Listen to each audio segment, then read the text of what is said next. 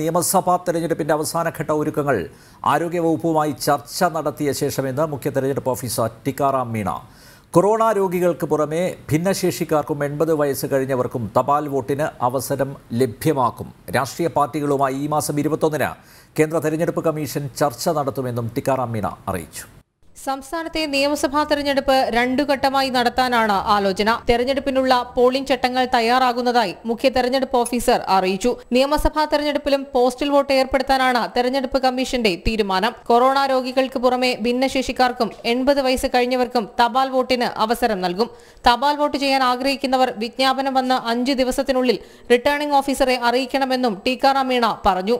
ആദ്യത്തെ കാറ്റഗറിയാണ് എൺപത് വയസ്സ് പൂർത്തി കഴിച്ച ആൾക്കാരെ.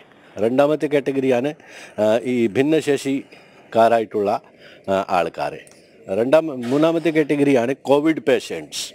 Covid patients are hospitalised and under quarantine ഈ മൂന്ന് കാറ്റഗറിയിലുള്ള ആൾക്കാർക്കായിരിക്കും പോസ്റ്റൽ ബാലറ്റ് ഫെസിലിറ്റി തെരഞ്ഞെടുപ്പ് ജോലിയുമായി ബന്ധപ്പെട്ട് പോലീസ് ഉദ്യോഗസ്ഥർ ഒരേ തസ്തികയിൽ മൂന്ന് വർഷം തുടർന്നാൽ ഇവരെ മാറ്റണമെന്നതാണ് കേന്ദ്ര തെരഞ്ഞെടുപ്പ് കമ്മീഷന്റെ ചട്ടം. ഇതനുസരിച്ച് ഐ ജി റാങ്ക് വരെയുള്ള ഉദ്യോഗസ്ഥർക്ക് തെരഞ്ഞെടുപ്പ് സ്ഥലം മാറ്റം ബാധകമാണെന്നും ടീക്കാറാം മീണ വ്യക്തമാക്കി. Any police officer, sub-inspector, SHO, SP who has completed three years in a particular district have to be transferred mandatorily. D G പിക്ക് ഇത് ബാധകമാക്കിയിട്ടില്ല. പക്ഷേ അത് ഇലക്ഷൻ കമ്മീഷൻ ഇതിനുമായി ഫൈനൽ തീരുമാനം എടുക്കും.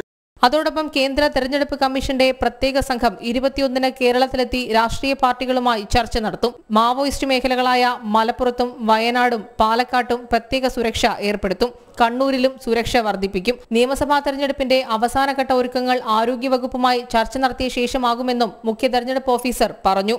ஜனம் திருவனந்தபுரம்.